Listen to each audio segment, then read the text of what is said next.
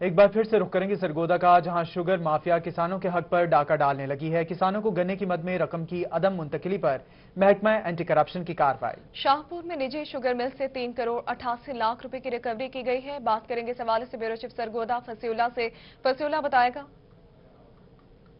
सरगोदा में किसानों की जानब से महकम से महकमा एंटी करप्शन को ये दरख्वास्तें दी गई थी कि शुगर मिल माफिया की जानब से उन्हें, जो उनकी जानब से गन्ना फराहम किया जा रहा है, उसकी अदायगी नहीं की जा रही, जिस पर DG anti corruption Gohar Nafees की जानब से तमाम मुतल दारों को ये हिदायत जारी की गई थी कि तमाम शुगर मिल माफिया के खिलाफ जहाँ पर दरख्वास्तें मसूल हो रही हैं, उसके खिलाफ कार्रवाई की जाए। इस हवाले से अगर जिला सरगोदा की बात की जाए तो यहाँ पर असिस्टेंट डायरेक्टर एंटी करप्शन तस्वुर अब्बास की जानब से कार्रवाई अमल में लाई गई है और शाहपुर में वाक़ निजी शुगर मिल से तीन करोड़ अठासी लाख की रिकवरी की गई है और तमाम तर जो रिकवर की गई अमाउंट है, वो किसान भाइयों के अकाउंट्स में डायरेक्ट ट्रांसफ़र कर दी गई है और इस हवाले से किसानों की जानब से भी जो है वो खुशी का इजहार किया गया है।